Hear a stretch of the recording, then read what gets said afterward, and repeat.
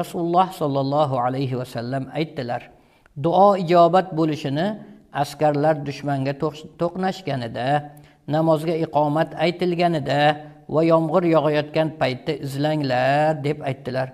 Bu hadisni imom shofiiy mursal holatda rivoyat qilganlar. Qarang duo ijobat bo'ladigan o'rinlar juda ham ko'p bu yerda aynan uchtasi zikr qilinyapti. Bizlar bu narsadan bebahra qolmasligimiz kerak.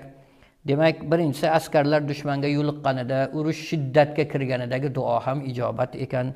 Ikkinchisi mana namozga e, iqoma aytiladi. Farz o'qishdan oldin tez allohu akbar allohu akbar allohu akbar degan paytda ham bir so'raydiganni so'rab olish kerak ekan. Yoki azon bilan o'sha iqoma orasidagi fursatdan foydalanib qolishlik kerak ekan. Uchinchisi yomg'ir yog'ayotgan paytda. Odam g'aflatda qolishligi mumkin. Yomg'ir yog'ayotgan paytda ollohga yuzlanib qiblaga yuzlanib inson ollohdan so'raydigan narsalarni so'rab olish imkoniyati duo qabul ijobat bo'lish umid qilinadigan fursat ekanligini mana shu hadislardan bilib olamiz. Demak mana shu uch fursatni yaxshilab eslab qolib mana shu holatlarda duo qilishga harakat qilmog'imiz lozim.